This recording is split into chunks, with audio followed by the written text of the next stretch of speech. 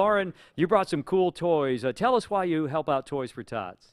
Because I care for kids. That is really cool. You go to Flowertown Elementary School, right? Yes, sir. And I came to speak to you recently, right?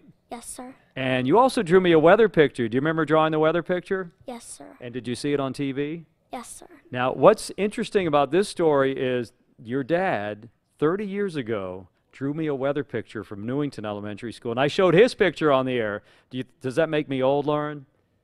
Yes. That's okay. So, Thomas, how cool is that? Uh, 30 years later, Lauren's picture is on, and your picture was on 30 years ago. Yeah, it's very amazing. We're very proud of her. She's a good little artist. Well, you got a great family, and you guys are going to see the tree lighting after this, right? yes, sir. All right. Well, tell everybody at Flowertown hello, all right? Hello.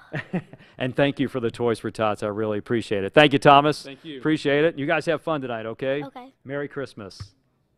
Merry Christmas. All right. Hey,